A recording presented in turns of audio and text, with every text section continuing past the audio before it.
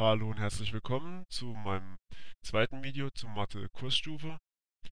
Und heute fangen wir richtig an mit den Ableitungen, nicht anhand von Graphen oder sowas, sondern jetzt mal anhand von Funktionen.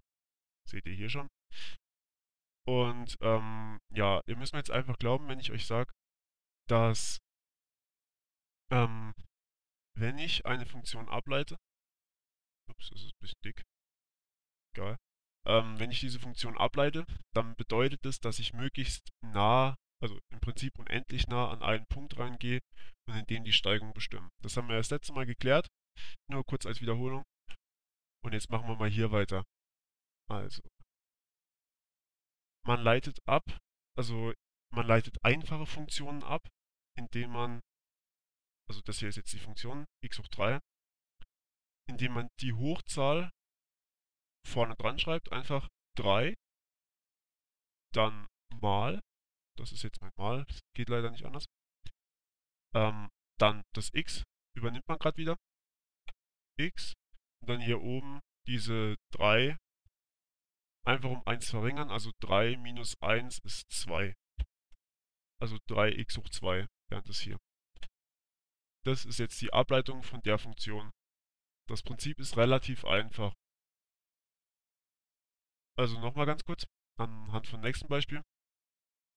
Man nimmt die Hochzahl, schreibt sie als mal vorne dran. Diese 2 hier bedeutet ja auch nichts anderes wie 2 mal x hoch 2. Das heißt, wir haben, upsala, wir haben jetzt hier 2 mal 2x. Also diese 2 hier ist die von der Hochzahl, die wir jetzt einfach vorne dran schreiben. Ähm, diese 2 hier, die übernehmen wir einfach gerade. Das x übernehmen wir auch und die Hochzahl verringern wir um 1. 2 minus 1 ist 1, x hoch 1 ist einfach x, das kann man weglassen. Das ist so definiert. So, und jetzt da unten, jetzt eigentlich nochmal ein bisschen kniffliger. Hier ähm, 5, also ja, das hier kann man natürlich auch noch weiter zusammenrechnen, braucht man aber jetzt nicht unbedingt. Das sind 4x. Und ähm, das da unten, nehmen wir die Hochzahl wieder. 3. Schreiben Sie als mal vorne dran. Mal. Und dann übernehmen wir diese 5. Übernehmen das x. Und verringern die Hochzahl um 1. Also 3 minus 1 sind 2. Soweit dürfte es eigentlich ganz klar sein. Jetzt hier ähm, 3 mal 5. 15 x Quadrat.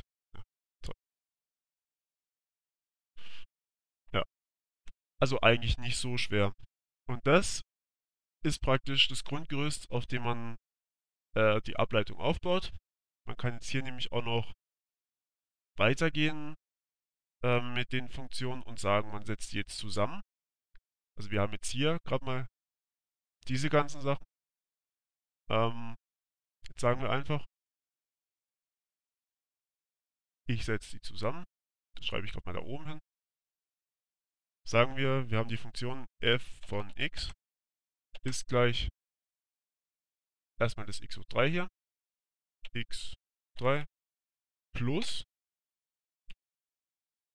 2x Quadrat, 2x Quadrat.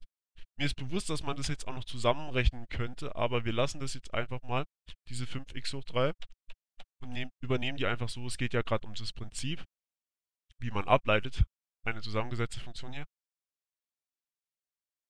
Ähm, deswegen rechnen wir jetzt hier die x hoch 3 und die 5x hoch 3 nicht zusammen, damit ich euch zeigen kann, wie man das ableitet. f' von x ist immer die Ableitungsfunktion. Dann haben wir hier x hoch 3 abgeleitet.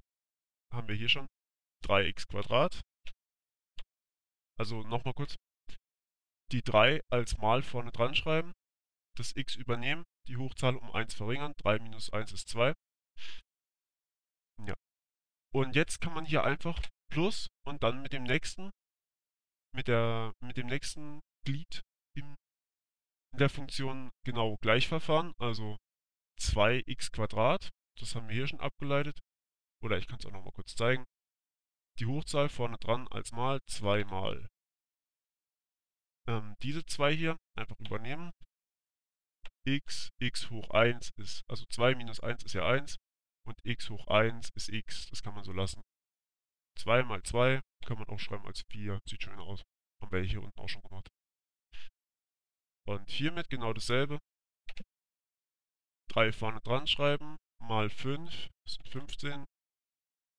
Da unten haben wir das auch schon ausgerechnet, x Quadrat. So, und ihr seht jetzt, wir haben hier eine relativ kompliziert aussehende Funktion. x hoch 3 plus 2x Quadrat plus 5x hoch 3 haben wir abgeleitet als eine weitere Funktion. Und wir haben gar nicht mehr so viele Probleme gehabt. So, infolgedessen ähm, würde ich sagen, hm, wir rechnen das jetzt doch zusammen. Also man darf jetzt hier natürlich x hoch 1 nicht mit x Quadrat addieren, das geht ja nicht, das können wir ja nicht machen. Wir können aber, upsala, ähm, wir können ja aber sagen, 3x Quadrat und 15x Quadrat kann man zusammenrechnen. Ähm, wir addieren einfach, also 3 Äpfel, x sind es mal unsere Äpfel, 3 Äpfel und 15 Äpfel geben 18 Äpfel. Upsala, nicht dahin. Das sind 18 Äpfel und Äpfel sind x. Und dann haben wir hier noch 4 Birnen. x sind unsere Birnen. Das heißt, wir haben hier 4 Birnen, die bleiben einfach. So, und jetzt haben wir die Funktion sogar schon zusammengefasst. Wir hätten es auch natürlich hier oben schon mal zusammenrechnen können, dann wären das ähm, 6x hoch 3 gewesen und wir hätten es gleich ableiten können. Wäre auch gegangen. Müssen wir aber nicht. So, und jetzt kommt was nochmal Neues. Man kann nicht nur die erste Ableitung bilden, sondern auch gleich die zweite Ableitung.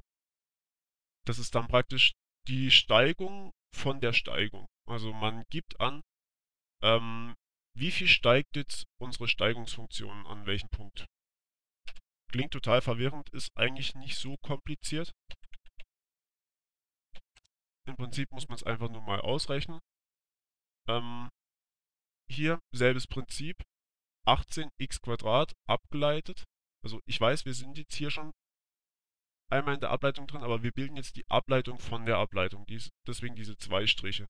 Ein Strich heißt immer die erste Ableitung und zwei Striche heißt die Ableitung von der Ableitung. Drei Striche ist dann dementsprechend noch eins tiefer. Man kann so tief gehen, wie man will, aber es ist irgendwie unnötig. So, ähm, jetzt hier 18. Äh, übernehmen wir gerade mal. Dann das hoch, vorne dran schreiben zweimal ähm, das x übernehmen, also einfach x hinschreiben und 2 minus 1 ist 1, also lassen wir das gerade mal weg.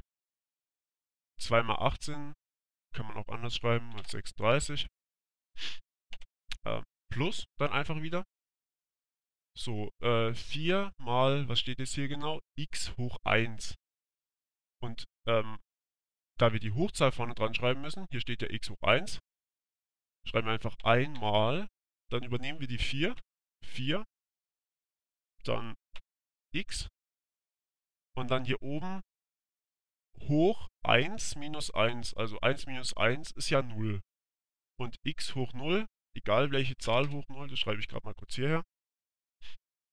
a hoch, achso, ich mache jetzt hier hoch. a hoch 0 das Dings hier ist, ähm, wenn man kein richtiges Hoch hat, das Hoch. Ähm, a hoch 0 ist immer 1. Das heißt, wir haben jetzt hier x hoch 0 stehen.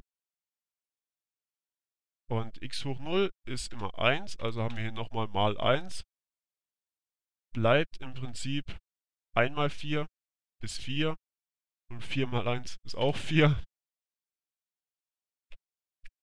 Also bleibt im Prinzip, wenn ihr nur ein x dastehen habt, nichts weiter stehen, als einfach nur die Zahl vor dem x. So, und jetzt haben wir schon die zweite Ableitung gebildet. Ihr seht, wie einfach das eigentlich ist. Für was wir die brauchen, das werdet ihr später noch sehen. Ähm, ich hoffe natürlich, ihr folgt weiterhin meinen Erklärungsvideos. Ähm, ja, da werde ich definitiv noch ein bisschen genauer drauf eingehen. Ihr habt jetzt erstmal gesehen, wie man hier diese Funktion zusammenrechnen kann. Und wenn ihr dazu Fragen habt, also nicht wieso man die braucht, dann schreibt es einfach in die Kommentare. Ja, und wir sehen uns beim nächsten Mal. Bis dann.